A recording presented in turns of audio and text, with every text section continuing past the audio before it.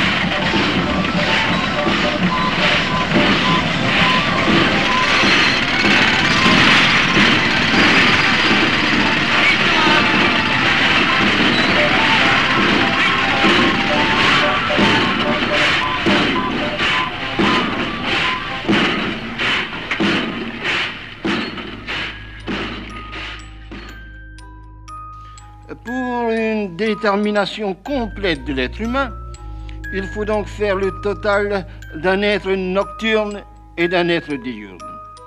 Il faut essayer de trouver les dynamismes qui vont d'un pôle à l'autre entre songe et pensée. Si l'on se donne ainsi une certaine largeur d'examen, on se rend vite compte que la nuit et le jour, dans l'âme humaine, ne sont pas des éléments logiques qui s'opposent absolument.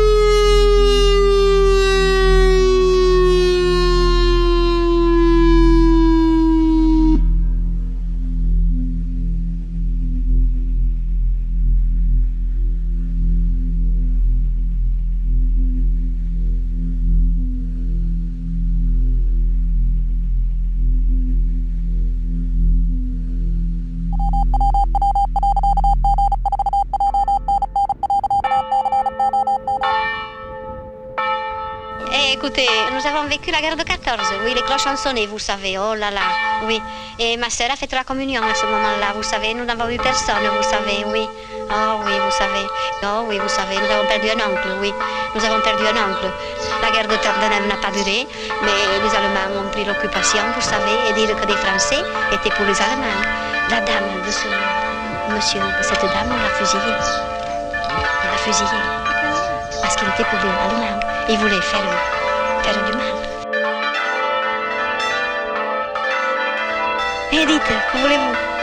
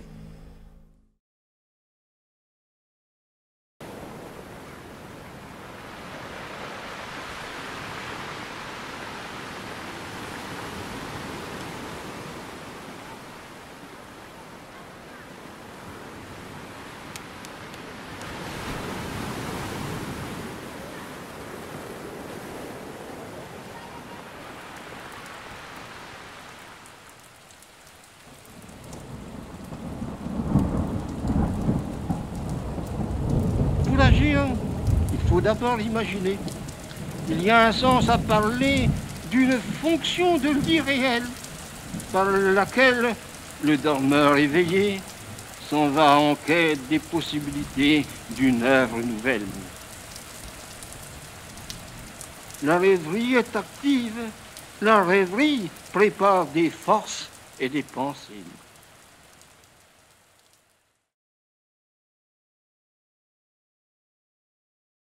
Okay, engine stop. Houston, uh, Tranquility Base here. The Eagle has landed. Roger, tran- Tranquility. We copy you on the ground. You got a bunch of guys about to turn blue. We're breathing again. Thanks a lot. That's one small step for man. One giant leap for mankind. Tony, this is so great you can't believe it. Oh, I believe it, Charlie. It's raining, John. Look at it go, would you, Charlie? You got all your steering. It's great. Oh, this is going to be some kind of different ride. Ignition. Fly that way, Houston. Vector good. We're burning flat. That's How's fine. the thrust? Looks good, flight. Observation flight.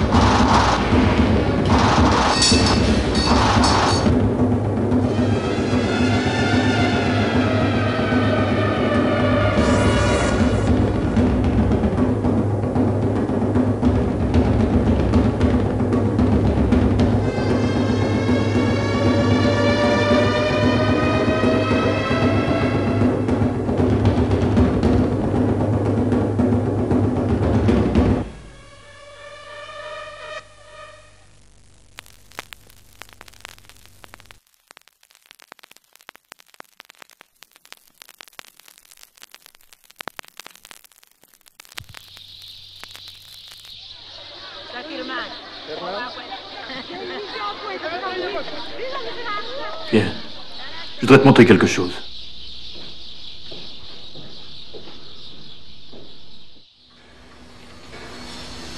30 ans, on a travaillé dans cette usine. Un four comme ça, ça brûle 24 heures sur 24, tu peux pas l'arrêter. Alors on faisait les trois pauses à feu continu. 21 jours de travail d'affilée, sans interruption. T'as plus de week-end, plus de jours fériés, plus rien. Tu te lèves à 4 heures du matin pour aller bosser, ou tu pars de chez toi à 9 heures du soir, le week-end. Quand tes copains arrivent à la maison pour souper avec ta femme, bah à la fin, tes copains ils viennent plus. Et ta femme, elle se barre. Tu finis par plus voir que les gars de ton équipe, ceux qui ont le même horaire que toi. Ça devient ta nouvelle famille. On passait la Noël ensemble à l'atelier. Le jour où tu perds ça, tu perds tout. On a tous laissé notre santé. Jean-Pierre, ses jambes, il y en a qui ont laissé leur peau. Et pourtant, cette usine, on l'aimait. Peut-être que c'est seulement parce que c'est elle qui nous faisait bouffer.